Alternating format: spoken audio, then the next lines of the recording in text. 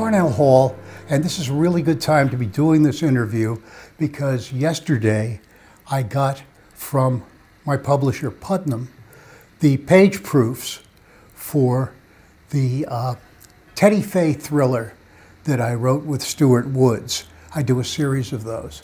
And that is a bit of a milestone because when that comes out, that will be my 50th published book.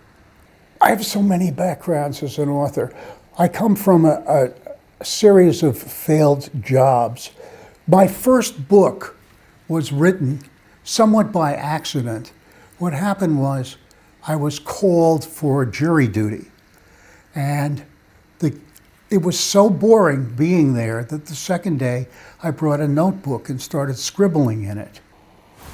I had several sources of inspiration. Uh, the earliest was Perry Mason. My parents were both English lit teachers. And after a hard day of teaching the classics, they would come home, they would kick their feet up and whip out the latest Perry Mason paperback and read it.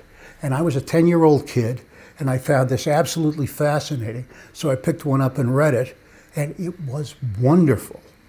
So I immediately started saving all of my money and going up and buying Perry Mason paperbacks.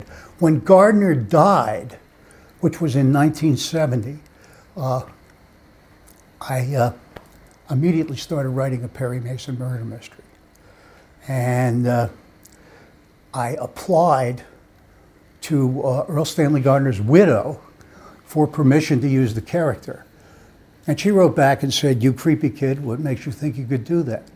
That was the first impetus was I want to be Erle Stanley Gardner. I want to write like Erle Stanley Gardner. I want to write Perry Mason.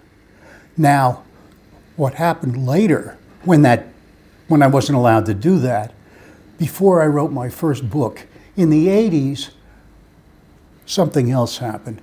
I happened to read uh, Looking for Rachel Wallace by Robert B. Parker, a Spenser novel. And it was fantastic.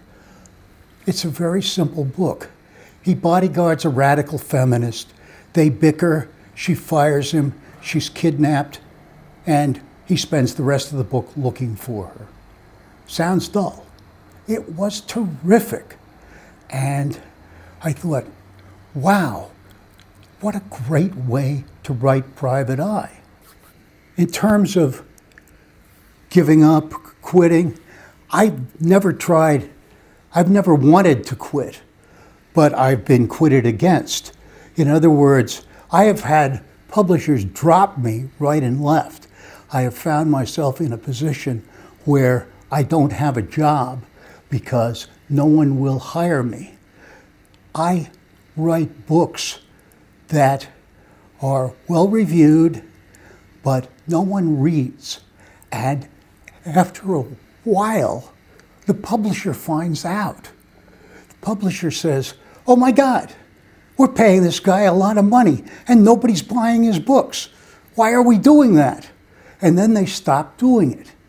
And then I have to reinvent myself and try again. Developing new plot lines is never easy. I found that out early on. When I started my Stanley Hastings series, he was a guy do, working for a negligence lawyer like, like I did. And fourth book into the series, he calls on one of his clients, and they're all the same. They broke their leg, they slipped on a crack in the sidewalk. So the office girls call him, say, Here, we've got a case, go see so and so and sign him up. He tripped on a crack in the sidewalk. Stanley goes there and finds the client dead. So he calls the police and they come and now they're interrogating him.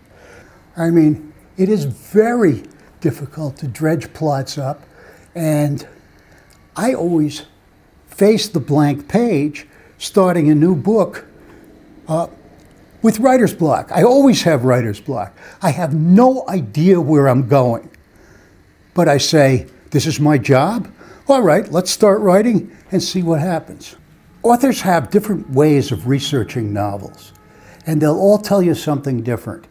I'll tell you what I do. I don't. I write what I know as opposed to what I can learn. I develop plot lines uh, from anything handy. And uh, for the Stanley Hastings books, um, it usually started with the title. A, a funny thing for me, after a lifetime of writing books that no one read, suddenly I'm writing the Stuart Woods books and everybody reads them. It says, Stuart Woods and Parnell Hall. And people buy them because his name is on them. So people buy them because they don't know I wrote them. And that's terrific because it's so nice to have people buy and actually read something you wrote. And on the New York Times bestseller list, our names are exactly the same size.